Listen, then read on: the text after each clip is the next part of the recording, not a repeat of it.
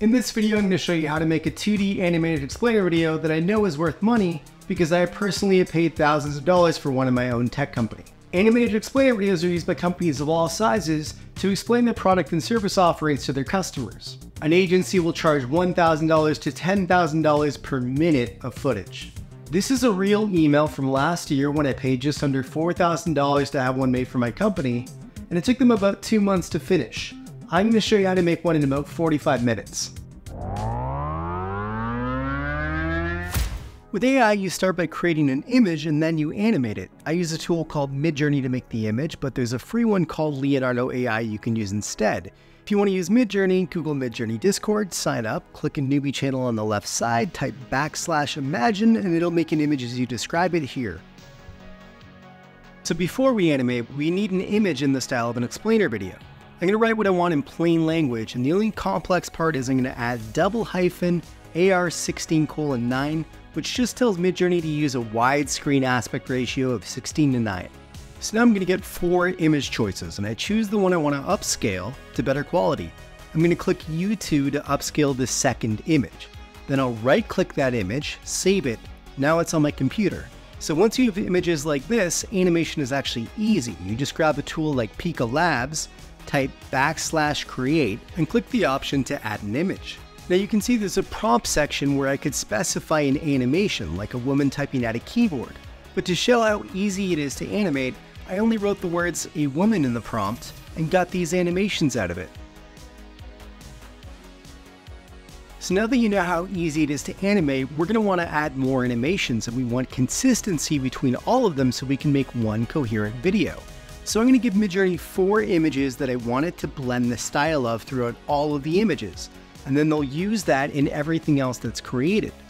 I drag and drop in the images, then right click to copy the image address. Then I paste that image address link into my next prompt, and it'll copy the style of the images that it's seeing. So when I use four links, you can see that it's taking kind of an amalgamation of all the different styles here. So this time I'm going to show you a premium animation tool. You can still use Pika Labs, but this is Runway Gen 2, and as you can see, we can get different types of animation from it.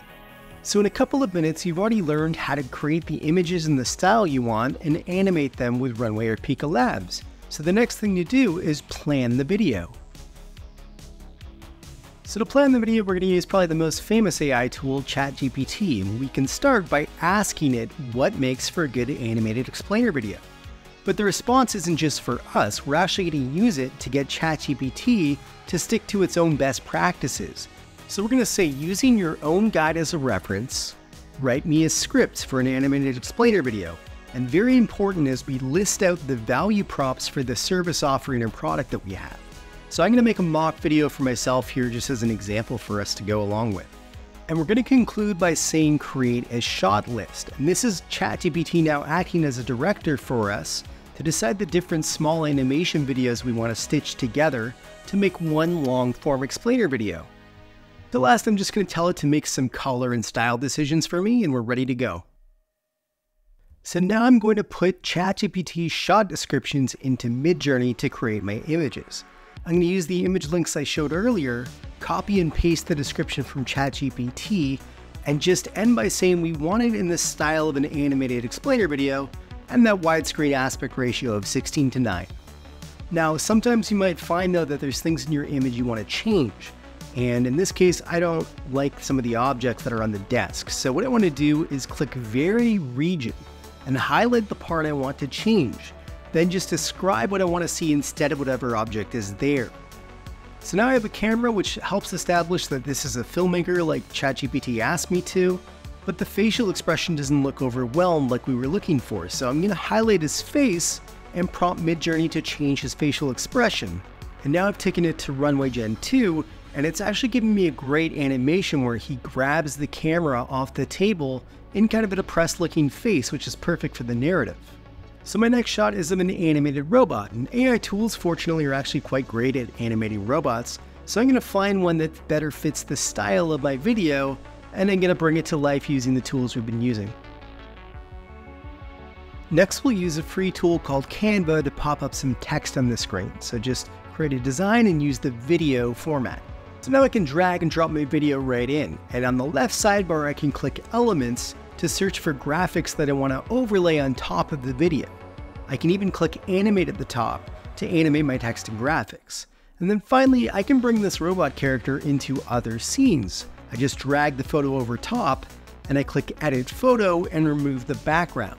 And finally, if there's something in the image that I don't want, I can use the Magic Eraser tool to get rid of it here.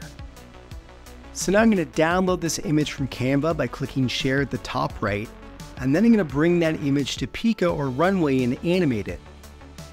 So the final step is just to add some sound, and ElevenLabs.io has a great voice library. It has professional sounding narrative voices, and you can sample them and choose the voice you like the sound of, and then add it to your voice lab. And then from there all you do is paste in the voiceover script that you got from ChatGPT and click generate. And if you want some copyright free music, you can go to a site like Pixabay and just download the songs you like the sound of and throw it into your video in an editor. And there's many YouTube tutorials on CapCut and iMovie if you'd like to learn more about that. So let's compare a professional video with one I quickly strung together with no experience.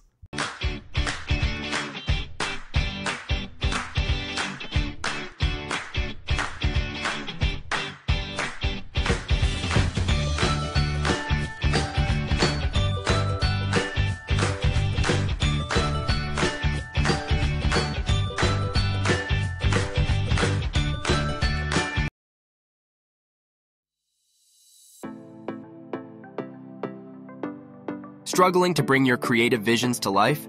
Meet The Reel Robot, your AI filmmaking companion, with lessons to help you develop valuable AI video skills and production services that can do it all for you. All you need is an idea, and we'll bring it to life. Get started on your AI filmmaking journey today. Visit our website, Lights Camera AI Action. That was my very first stab at it, so with some practice, I think you could probably do a lot better than I did. So now with a skill, you can go and find customers on freelance sites like Fiverr, Upwork, People Per Hour, Freelancer, and a lot of marketplaces that are looking for these skills. If you want to learn to make more types of AI videos, go to thereelrobot.com and sign up for my AI film courses and subscribe to the channel. Thanks for watching.